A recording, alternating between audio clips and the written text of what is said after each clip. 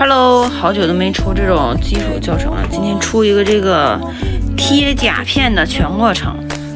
首先呢，我们拿这个锉条啊，把你这个甲面上所有的地方都给它打磨成这种就是不光亮的面。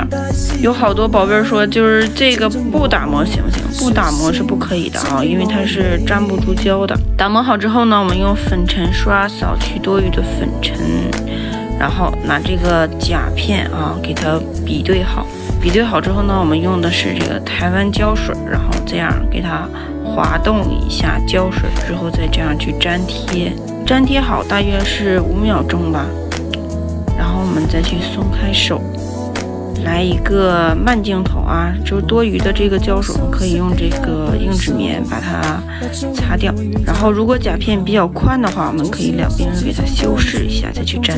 粘贴的时候呢，胶水一定要都到这个甲片根儿的部分，然后再去粘贴。这样粘贴方法是零气泡哦。泛白的地方，我们用这个解胶剂给它擦拭一下就可以了。学会了吗？记得点赞收藏一下哦，关注我，每天更。